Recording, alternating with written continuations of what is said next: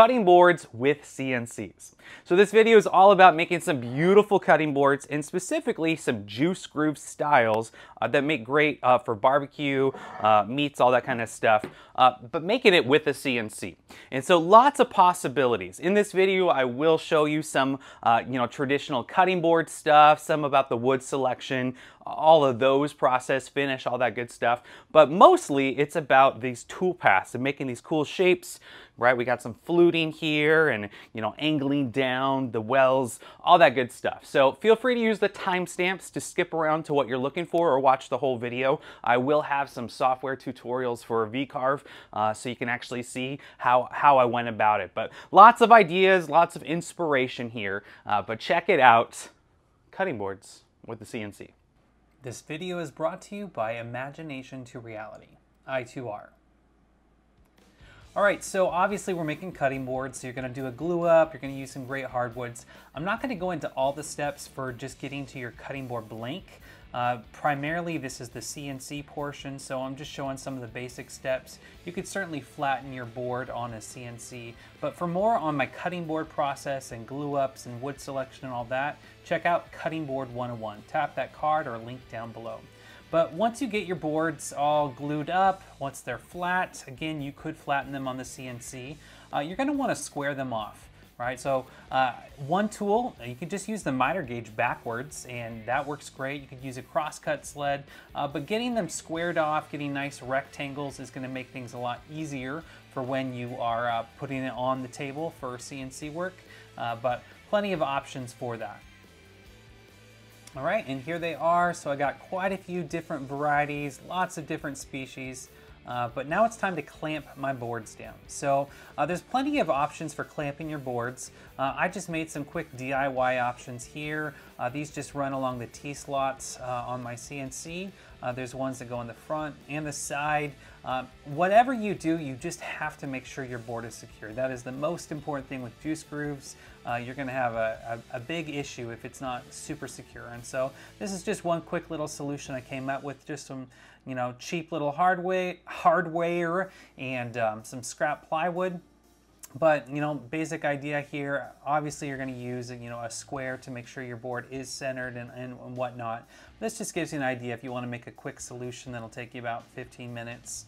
Uh, and just some basic hardware. And so that worked well. I still use my other hold down clamps, but uh, make sure you have a good solution. Double stick tape, I don't think is enough. So here we go, right? So just a pretty straightforward juice groove. It's just a quick rectangle. I can see how it is locked down. Uh, this is just a, a, quick, quick and dirty, nice and clean, uh, but you gotta make sure that your board is held down nice and secure. So here you can see I do have the four hold down clamps. I do have, you know, those kind of spacers to, to lock it in place uh, in the front and back, and it really pr produced some great results this way. And so I was able to do quite a few juice grooves. So starting off, just a simple juice groove, just a simple rectangle, uh, and some options in V-Carve. All right, so just a quick little V-Carve tutorial. Uh, if you don't need the tutorial, just skip on ahead, use those timestamps down below. Uh, so here I am in V-Carve. Uh, I've set my job for 18 inches long, uh, the board, uh, 12 inches wide, about an inch and a quarter uh, thickness. That's my ideal, you know, measurement. Most of my boards end up being, you know, 17.3825 and, and so forth. So if you want to go for a standard measurement, you can certainly do that. but I got my dimensions in it is important to uh, be aware of your width and height. Uh, for this, it just makes things so much easier. So I've got it set, and I'm going to go ahead and draw a rectangle. So I just go to draw a rectangle. Um, I'm going to do a square corner. Um, if I have an 18-inch board, I'm going to go with a 16-inch long rectangle or wide and a 10 inch high. And I'm just gonna click create. So whatever my measurements are, I'm gonna subtract two inches. So because my board is 18 inches wide, uh, this gave me 16 inches. And just that two inch uh, subtraction really makes a perfect, uh, a perfect margin in my opinion that accounts for uh, roundovers and chamfers. It gives you enough clearance because I'm gonna be using a round nose bit and that's gonna cut right along this line and it's gonna come out about about 3 eighths of an inch here and 3 eighths of an inch on the other side, so 3 quarters of an inch, and that's just going to give that, that perfect amount of clearance. You can, of course, play around with this, but that's what I use. It works great. Um, so you could do a square rectangle, you could do a rounded rectangle. You, of course, could also do an internal. So there's some just really simple options here, just a click of a button, uh, you've got it, but we're going to just go with this square corner. I'm going to click on my vector, go to my toolpaths, and I'm going to use a profile toolpath. So clicking on the profile toolpath, uh, the bit I'm going to use is a round nose bit. So uh, all of the bits, all of the, the tools that I'm using in this video are down in the description of this video. But here you can see I just pulled this right off of Whiteside's website. Uh, same thing for you know other tools. You know Amana does this as well, but you can find uh, their specifications. So I just click on it. It has all of their recommendations. I'm just going to go with what they recommend. I'm not going to mess around with anything else. And, um, and then I'm, I'm, I'm pretty close to going, right? I want to click on, I want to click, click uh, cut on the line, but this is crazy important. Now, the bit can handle a depth uh, I'm doing about a quarter inch. That's usually how I go, how deep I go on my juice grooves. A deeper juice groove is, is great. You really, you know, as far as the function of the board, but quarter of an inch I think is sufficient. Uh, but one pass, that is a lot of material, especially in hardwoods, and that's pretty aggressive. And even if you have a great clamping setup, that might be just too much to handle. So I do like to just slow it down. It goes so quick anyway, and I just like to do four passes, um, you know, two, three, four passes, and that's just gonna slow it down down and uh, make sure that my board doesn't jump, especially as it's cutting along this side. Uh, it's going through all that end grain. This is where it really does like to jump a bit, uh, and so you want to make sure you're, you're clamped down. But uh, that's it. That's really all you have to do, and then you click Calculate, uh, Preview, take a look, and uh, there you go, right? So you got your toolpath, uh, you got your clearance, you got your measurements. Pretty basic how to run a juice groove uh, just with a rectangle. Of course, you could also uh, do those, uh, you know, could do an internal one like so.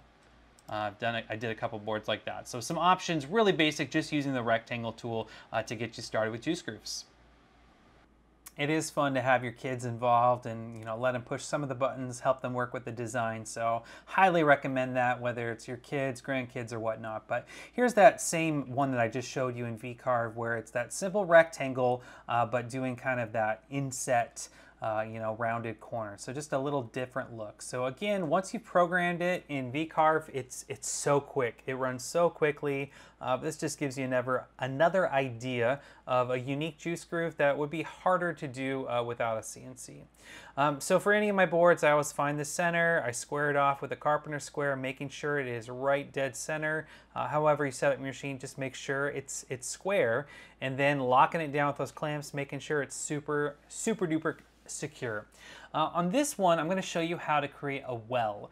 Uh, so just adding in a triangle well at the end here. Uh, there's plenty of options for this, but I want to explore uh, looking at adding a well for the juice uh, in this barbecue board, uh, as well as some other options. But while we're here, I just want to show how you see there's that line, that dark walnut, and oh, it's not even, right? So even though I said to be secure, it wasn't perfectly even. Uh, so one way around that, if that happens, uh, obviously you don't want that to happen, but if you have a glue up like I did, uh, it is a little unsightly. You just go back into VCarve and then you can just take that rectangle and just bump it up bump it over uh, just uh, you know a little bit, a fraction of a bit, and then just rerun it uh, the same setting. So here I am, I'm going to rerun it, and it's only going to cut uh, on that side uh, that wasn't even. So it's going to end up making it a little bit wider of a juice groove. Uh, however, those lines are going to match. So here I got a little of that white oak on the side hanging out and a little of that white oak. So it's even. it is a little bit wider of a juice groove, but uh, as far as the lines with this type of glue up with these different species, it just looks better. So that's a quick little fix uh, if you run into that issue. But back to the well, adding in a triangle. So you of course would start with your, your standard rectangle or whatever you have, but then you want to add in a, you know, a well at the bottom. It doesn't have to be a triangle, that's just what I did here. And uh, using a ball nose bit, I'll, I'll, talk all about this in the VCarve tutorial as well as some other options. Uh, so I started messing around with fluting. And so this just kind of tapers it down, it angles down uh, the groove lower. And so I ended up making the well uh, deeper. Instead of a quarter inch deep, it was, you know, nearly half an inch deep. Uh, but I, I didn't want that sharp drop off, so a gradual slope. Uh, and so just kind of messing around. I did a lot of trial and error. Uh, this is something, if you're not feeling comfortable, I would recommend doing it on a scrap piece uh, or doing you know some test work first. But just really, really small bites, just taking away a little bit at a time, uh, just being extra careful here. It worked out perfectly for, for this board and uh, gave some great results. All right, so we have another V-carve tutorial for you. This one is going to be talking about how to add a well. Uh, this one's a little bit longer because I want to talk about uh, fluting, some other things. Again, if you don't need this, use those timestamps to skip ahead. But we have our 18-inch wide board, our 12-inch high, blah, blah, blah. We did that before. Uh, rectangle, we talked about that. We subtracted. Just want to get us back to where we were before to show and so what we're working from. So with this well idea, you want to still have your standard juice groove. And we're still going to have our tool path. We're not going to have one pass. That's just too aggressive in my opinion. I don't want to lose my beautiful hardwood board. And there we go. All right, so I have my, my, my groove, right? I got my groove. It's lovely.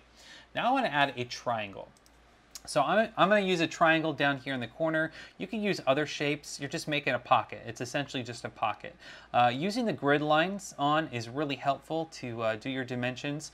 Plenty of ways to do this. This is just the easiest way I found. And I'm going to make my triangle just a little bit bigger, a little bit bigger than my uh, box. Uh, than my line itself. So I used that grid line. I went up, let's see, I went up one, two, three, four. So I want to come over one, two, three, four. And there we go. So I got my triangle. It's just a little bit longer. Uh, remember that the tool I used here was three quarters of an inch. And so it came out uh, 3 eighths this way, 3 eighths this way. So having my pocket, uh, again, I'm going to be cutting within, it should be fine. Again, you can just kind of mess around with this, kind of some guess and check. Then I'm going to go to my toolpath and I'm going to do my pocket. And so I could use the same bit. Uh, you could use a ball nose bit, other bits. I'm just going to use that same round nose bit I used for the groove. And uh, cut depth. Uh, for my well, I could keep it just at 25 uh, hundredths of an inch, the same uh, depth. And uh, again, I want to edit those passes. I do not want to have it too aggressive. Uh, to remove it all, it's such a small area. And uh, let's just see what this looks like. So I'll preview it. All right, so that looks pretty good. Looks pretty good right there. It carved it all out. Now, one thing I will say is when it carves out, uh, you might have some ridges. So if I go ahead, I'll go ahead and click Edit this toolpath. Let's take a closer look at that tool. So I actually went ahead and I changed the cutting parameters to be 16% step over. Uh, it's normally at 38%. That's just the automatic one that Whiteside does. And so normally what I would do is I would just uh, do the, the standard the standard, let's remove that. Uh, and maybe instead of the full depth, I would cut it at 23 hundredths of an inch with a standard uh, where there's going to be some ridges. And then I would do one more cleanup pass uh, later uh, just for those last two hundredths of an inch to get it nice. It's such a small area. Uh, there's some great sanding attachments that I'll talk about later in the video that would really help with that. But it's that simple to get a well. Done you're done. Uh, you've created a pocket, save it, good to go. So you can stop right here, uh, jump on ahead uh, to the, the next uh, part of the video if you want to, but I want to talk about how I did that fluting. Uh, so how I got it to angle down. And so what I did for that was I made my well a little bit deeper. So instead of, you know, 25 hundredths of an inch, I went 45 hundredths of an inch, so almost, almost half an, an inch. Uh, and I'm going to go ahead and do my number of passes. Let's just say that's four again. Uh, so it's going to be much deeper. You can see how it's so much deeper, but there's those ridges I was talking about that can happen if that step over uh, is where it's at. And so doing a finishing pass is helpful. So let's just call this, uh, it's, it's always helpful to name these. So deep well, uh, we'll call it 0.45. And then let's say I'm going to finish it up. I don't want to have those marks, so I'm going to go ahead and we'll call my final depth 48 hundredths of an inch. But on this time, I want to change that to, let's say 16%. Uh, there's, there's plenty of videos online that talk about the step over, uh, but I want to go ahead and make sure I have the right one. It's only going to be about, what, 3 hundredths of an inch, so I'm okay with one pass here uh, because it's so small. And now, see how it cleaned it up? So it shows some lines, but if you feel that with your finger, you can hardly feel that, but that's it's actually really, really smooth. Um, but now I have this kind of abrupt edge right here, and it doesn't, you know, gradually guide on in.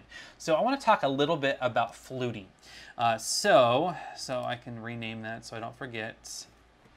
Uh, deep well 0.48. Uh, it's just helpful to keep track of everything. Okay, so let's go back to 2D view. I'm going to add a line. And on this one, I want to have it start kind of right in the middle. Now, I want to be right on the line because I'm using that tool I used before, that or that same bit on that juice groove. And I just want to come right here, uh, and let's gradually go in there. So now I have a line. Can you see how that line kind of comes right in here? And now I'm going to go to my toolpath, and I want to do the fluting toolpath. So it's going to start at zero, and it's going to go all the way down to 0.48 because that's my final depth of my well. I'm using that same bit. Again, it's just that same bit all throughout. And this has already been carved out at 25 hundredths of an inch. Um, so maybe, maybe I want to, you know, go a little bit more gradual, but let's see what happens here. And so here, it's just going to go down here, and it just kind of cleaned up uh, where it was a little, it's hard to see in the 3D. I mean, you can kind of see it here, um, but I really recommend testing this out. As you saw in my video, I kind of kept trying it. I just kind of worked my way up, worked my way up. So this would be a good candidate to test. But here, by starting it here and it gradually went down, uh, it worked so perfectly. And then I could do the same thing uh, as I did right here. I have a line there. Now I create a line just right here in the middle or however much I want to go and just to the edge. I don't need to go too deep. And that same idea, I'm going to create yet another vector, or I'm going to uh, click on that vector, go to the toolpath, and I want to do a fluting. This will be my second fluting. Again, my final depth of my well is 48 hundredths of an inch. So let's calculate and it's not it's not going to remove that much material. So here you can see it just kind of cleaned it up a little bit. So this just really helps uh, guide in those transitions. So there are so many options here. Uh, you could do uh, full fluting all the way down. Uh, be sure to check out there's a video. Go ahead and click on this card uh, up here, uh, Vectric has a great video on fluting and just different ideas for juice grooves, so you can check that out for more. That's how I learned how to do this. Uh, some other great resources, but uh, a fun option here. All right, next up, some more juice grooves, some different styles, but let's look at that well one more time. And here you can see that completed well uh, with uh, fluting, right? So it's sloping down nice and gradually on both sides into that deeper well. Uh, it's actually really smooth uh, there because we uh, changed the step over rate, but uh, there you have it. So adding a well with some fluting. All right, another style here. Uh, yes, this is just plywood. Uh, anytime I try a new bit or a new style, I do like to test it out. So this is just some scrap plywood, and I'm just using a bowl and tray bit here just to kind of test out a round dish with kind of an inset um, an inset juice groove, so uh, and then you know an out outside profile. So pretty simple, but quick V-carve tutorial on this one. Another V-carve tutorial here. Uh, so on this project, we're just going to say it's a 14 inch by 14 inch square. Uh, it's a little bit wider than a planer. You could, of course, if you have a piece that's wider than what your planer could handle, you could actually surface it on your uh, the bed of your machine itself.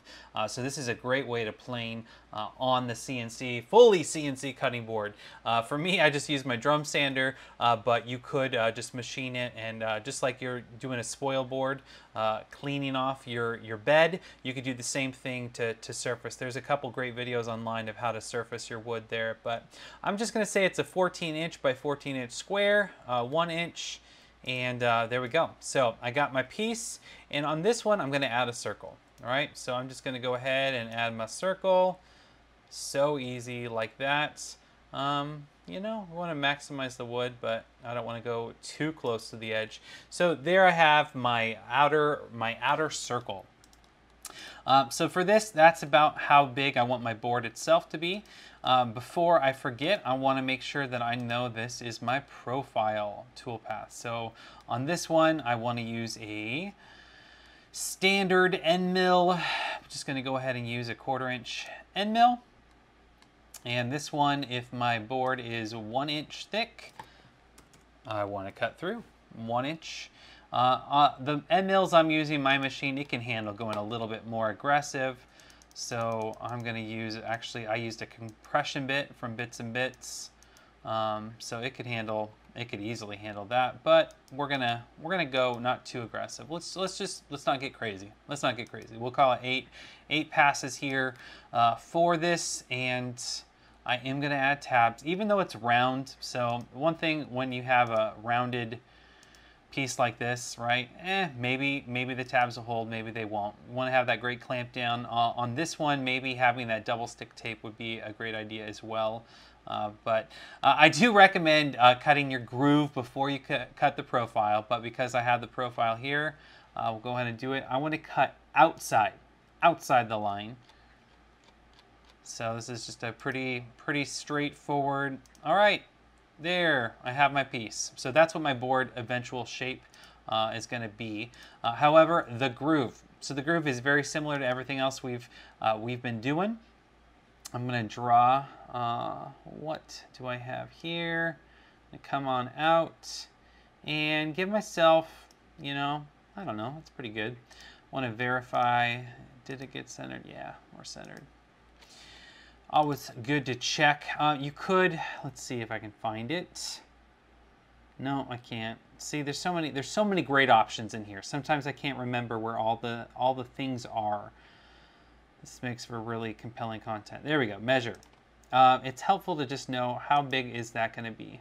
So, uh, looks like that's about five, okay, so five tenths of an inch, so half an inch. That's a half inch ridge, that's good.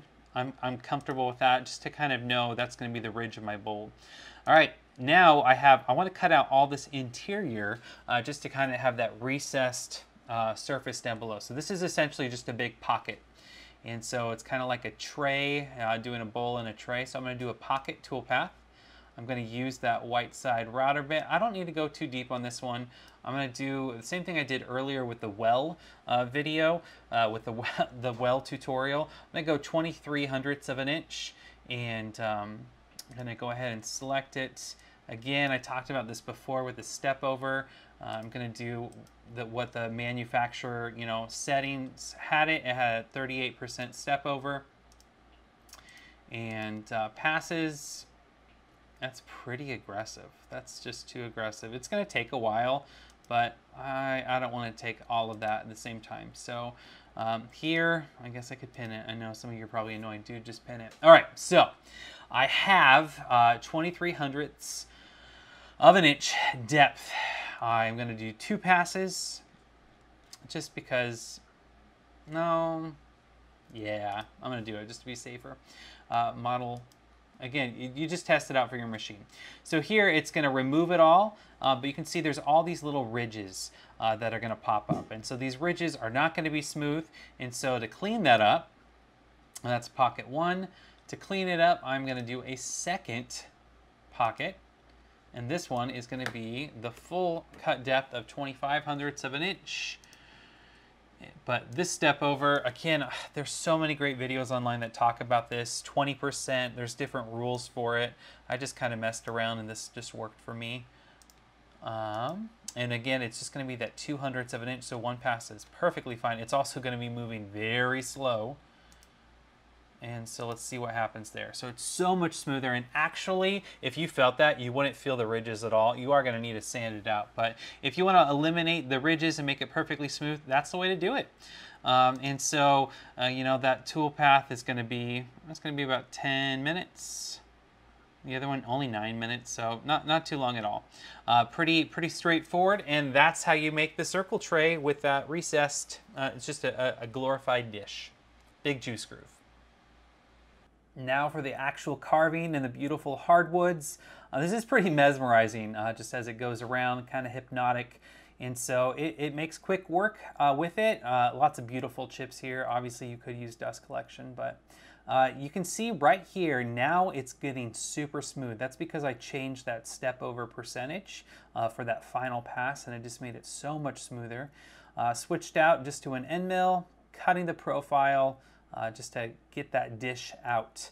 And you can see uh, it's a just oversized platter. Uh, so this would work great for, you know, so many things, but, you know, essentially a cutting board. Uh, different style here. Okay, different style. This one uh, is utilizing clip art within VCarve, uh, but it's just kind of a rounded rectangle. You always want to start with the groove first if you're going to cut out the profile while it's still secure. So I cut the groove and now I'm cutting out that profile. Uh, here's a quick tutorial. Okay, so one last V-carve tutorial for you. Uh, a couple other designs, but this is the last V-carve tutorial. Again, timestamps if necessary. Uh, but on this board, it's a little bit thinner, about one inch, about 11 by 17, whatever you, you know, your piece is, what looks good for you. This one's gonna utilize clip art. So I'm going to go ahead and go under clip art to the 2D vectors. There's lots of really cool options. Uh, you could make, you know, uh, a plaque board. You could make a star board. This one's a really cool idea. I've thought about doing, you know, a painting, uh, you know, charcuterie board or whatnot. But on this one, you just go ahead and pick a, a panel, a shape that looks good to you. Uh, this is the one I went with. And so you just drag it on over. And then we're going to go ahead and make sure it is centered. It's centered. I'm gonna make it a little bit bigger. I can stretch it out.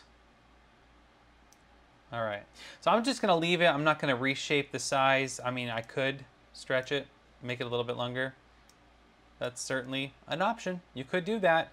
Um, all right, let's go ahead. Let's roll with that. Let's see what happens. So uh, like with the circle one, I'm going to need to cut a profile on this eventually. However, I want to also have my groove. So I just hit Control C, control copy, and then control V just to make a duplicate. I'm holding down the shift key to keep it centered. And then I'm going to go ahead and shrink it a little bit more. Now the one thing that happens on these, if you uh, elongate it, uh, change the shape so it's not a perfect, um, it's not perfect all the way around. If you're okay with that, continue on and you could just do everything like that. I'm you know, I am who I am and it kind of bugs me. So I'm going to go ahead and leave it at its original shape like this. So I'm going to leave it at the original shape, control, control C, control V. I made a duplicate. I'm holding down the shift key and then I shrink it and you see how I have uniform borders. So I have a uniform space all the way around. I'm to go like that. And so, uh, again, this is totally trial and error. Just test around, mess around with everything. Um, but I need to see uh, if this is going to give me enough margins once I do that 3 quarter inch uh, profile toolpath. So I'm not doing um, the full, the outside. This is the juice groove. And so on this one, I'm going to go back like I did so many times before. Uh, just going to use this. It went ahead to uh, the earlier tutorial of the 16% step over. I don't need that for a profile. So we'll just go to the standard. And I'm going to cut on the line. Again, I don't want to go too aggressive, especially as it cuts uh, on the side here through the end grain, no matter what holding uh, method you have. That's just best practice. All right, so it's cutting on the line, going through. Let's see what this looks like. Calculate. All right, so that's, that's how big it went. Now let's see what happens when I have this toolpath. For my outside, might have to shrink it. I have a feeling it's gonna be a little bit too big. All right, we're selecting a different end mill for our profile to cut it out, cut it out to the shape I want. This is a one inch board, so it's gonna cut one inches. Um, I don't need to do 14 passes, but think 8 is good for me. That's, that's good with my machine. That works. I'm going to cut outside the line. I'm going to add my tabs. And here we go. All right, tabs. Tabs are added. Let's take a look. All right, so it cut outside. You know, this, this can work. This can work. So I'm going to unpin just to take a look. All right, well, this is a little narrow here, uh, but for this board, that would work just great. And again, uh, what you can do, uh, just to test, again, you're gonna have you can use that measuring tool, right? Some measure tool to just check your distances. But this is just a great one to mess around with. Uh, this is just a fun shape. Uh, there are some ideas like this on Etsy and other ones, but there's some really cool ones in here. You can make some really unique boards, uh, maybe not juice grooves per se, but you could make some really cool charcuterie boards that don't have the juice grooves. Uh, but a lot of options using just the built-in clip art uh, within VCarve, or of course you could, uh, like my other sign videos, where I explain how you can find clip art online and other pictures and make that work. But there you have it. And there you have it. Uh, beautiful board, right? So pretty clean, no router work yet, uh, no roundovers or anything like that, but pretty clean board, fun design.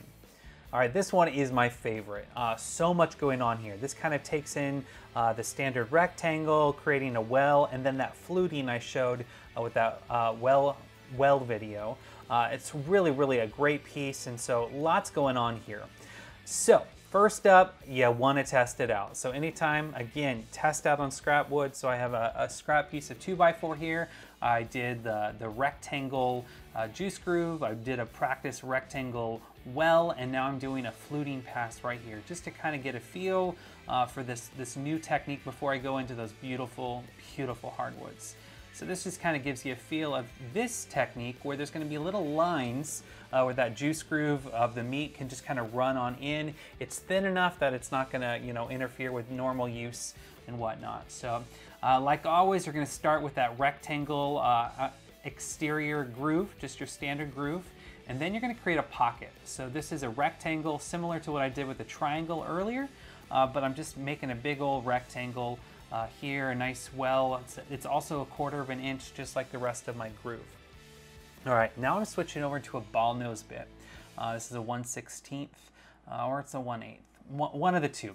And so I'm just running lines down, but you see how it's barely taken any any of the material away because I wanted to test it out. You see how I got uniform spacing? It's exactly what I wanted in between. A lot of measuring, a lot of measuring going on here. And so uh, as, as you go, test it out, shallow depth, and then go ahead and do the full depth. So this is fluting uh, from the, the surface down to a quarter of an inch. So like I showed earlier in that fluting video, same process. You gotta measure though. If you're gonna do lines like this and really test it out, lots of measurements, measure, measure, measure, be precise. Uh, and so uh, measure, right? Uh, same thing again, my first pass is just gradual. I just wanna verify that I'm where I wanna be. I was. And it actually turned out perfectly. I got it right, uh, symmetrical, right in the middle of, of where I wanted. And then I did the full carve and it's a quarter inch uh, down to the bottom and then on up. So that's actually a 1 8 inch uh, ball nose bit that I got there. But just mess around with those, play around with it. And uh, just a fun design, a little bit different. Okay, you're gonna do sanding, you're gonna do all the traditional, you know, woodworking things for a cutting board. Uh, like I said, I do have that cutting board 101 video with all the steps, but I'm gonna include these ones here because I did try some different ones uh, with this batch of cutting boards that I wanna share with you. Uh, so stay tuned. So router profiles, right? This really changes the board a lot. You can do these uh, router profiles on the CNC. I just think it's easier to do it at a, a router table. So you can do a roundover on the top and leave it blank on the, uh, you know, square on the bottom. You can do a slight roundover here, a heavy roundover. Uh, on this really deluxe board here, I just went with a really, really subtle roundover. This is just a 1 8 inch and it's just, it's a really nice look. So play around with your router bits what you want. Um, you could also do a chamfer, right? Just that 45 degree bevel, that's a great look too. So router profiles at a router table makes quick work of it. Also handholds. Handholds are nice so you can use both sides of the board. Uh, this one is using a ball nose bit. I have a whole video just on cutting board handles. Uh, some really simple options. It's a short video, really short video, so tap that card or link down below. Uh, here you can see this one. There are some burn marks. I'll show you a, a trick for cleaning those up shortly. Uh, but that's one style. This one you could do on the CNC very easily, uh, but it's just I had my setup all set. Uh, it's just using a cove bit uh, to get just a little inset handle there. Um, so fun, fun little addition, right? Elevates the board. And here you have it. So this is what the boards look like uh, after they got all their CNC work, on, they got all their unique juice grooves, they have roundovers, and uh, time to clean up some of those burn marks, uh, some of those things. So here we do have burn marks. If you're using the CNC, you're probably not gonna have much burn marks at all, but using a card scraper like this is really handy. Uh, links to all the tools and accessories down below if necessary, but this uh, just helps uh, expedite the process. So you're able to clean up those burn marks uh, really quickly. Yeah, listen to that. So it also works on those juice grooves if you have burn marks uh, or if you had to do some reshaping because of some, some whoopsies. One tool that I absolutely love is this contour sander. Um, I have a whole video that just came out recently on different sander attachments that make projects you know so much easier and quicker. So especially for CNC work, I love this tool. Uh, it really, there's nothing like it. It's just so flexible how it's able to sand the juice grooves. It can sand those wells. Uh, there's plenty of different options and grits. So check out that video with a lot of other sanding options like pneumatic sanders and all that. Um, but another video, yes, another video. You are gonna have to do some hand sanding. Uh, so hand sanding, uh, work your way through, just get it nice and smooth. As far as sanding, my progression is I do 80 grit, then 120, then 150, and then I raise the grain. Um, so here, I'm just cleaning up those little grooves that I did the fluting on, and um, just sanding everything up to 150 once you've sanded your boards to 150, you want to raise the grain. So this is just a spray bottle with water, and I'm misting the surface of the board. Uh, both sides, you want to get water everywhere. You don't want to soak it, so do dry off any excess moisture. What this does is it raises the fibers of the wood. And what you're doing is you're raising those fibers so then you can knock it down with a 220 grit. If you don't do this after the board gets washed, it'll, uh, it'll be rough to the touch. And so it just won't be you know, as great of a board. So here I am, the wood has dried and now I'm sanding it at 220 grit uh, and then it's time for finish. So many finish options. Uh, my wood, uh, my cutting board 101 video, I talk about so many options, but this is a new one. It's using pure tung oil, very important distinction, and a citrus solvent uh, at a one-to-one -one ratio.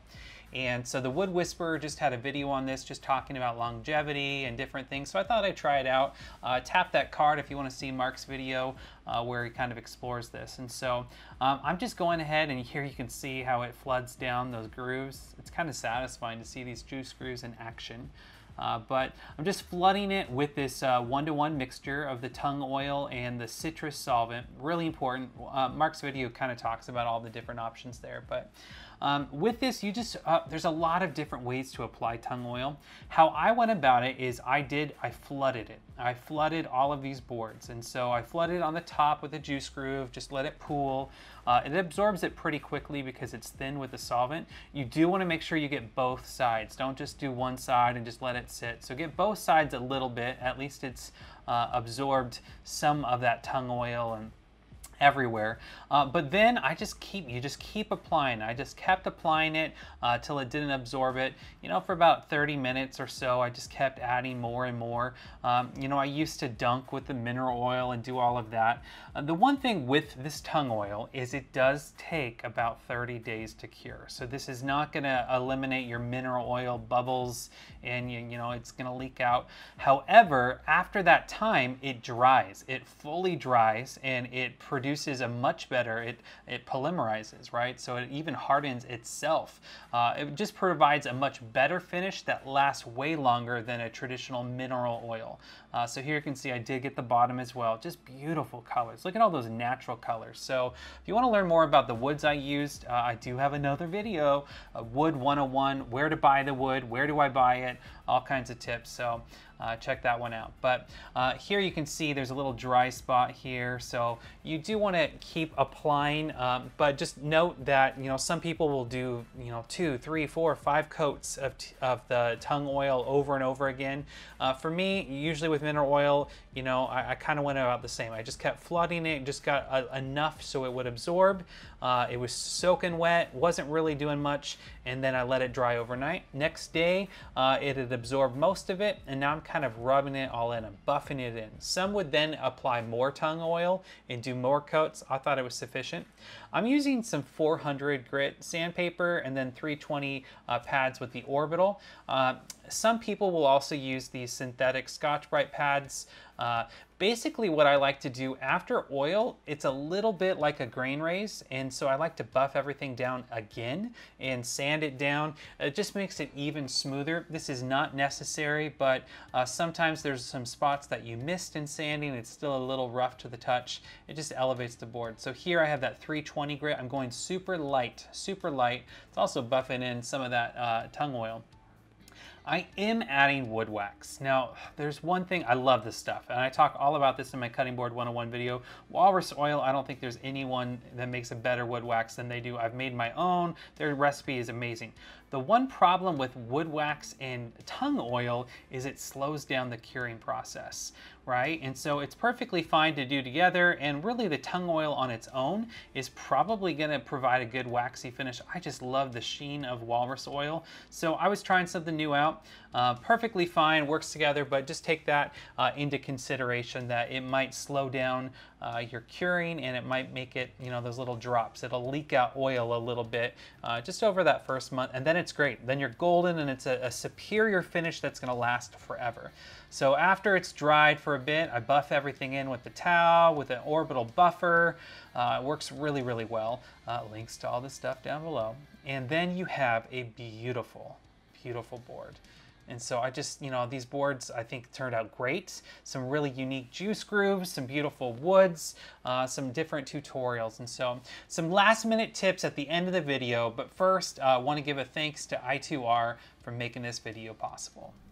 All right, a huge thank you to I2R Imagination to Reality for making this possible. Uh, right, obviously with the CNC machine, uh, but you know, sponsoring this video and making it possible for me to make these cool things with some awesome CNC machines. So really quick, I want to talk about what I think makes them so incredible is the fact that it is such a simple setup. I was able to get this uh, machine up and running in no time. Uh, you know, there's the onboarding call. Uh, customer service is incredible. Any issue, uh, they do have training calls available for teaching you how to use the machine, uh, software, all that kind of stuff. They can do remote logins uh, if that's your need, but just some great, great features. it is a robust machine. It's fantastic fantastic. So you do have your smaller units available. Uh, these are the B series, uh, but you know if you have a smaller space, two by two, two by three, and then you get to uh, this is the unit that I have. So this is the B24.